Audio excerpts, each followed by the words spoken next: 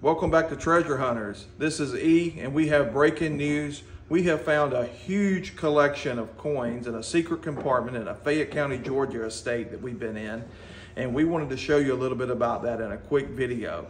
We have just launched this auction. It's hundreds of coins ranging from Morgan dollars from the late 1800s, Morgan dollars from 1903, Susan B. Anthony coins, presidential coins, proofs, it's just a huge collection, a massive find.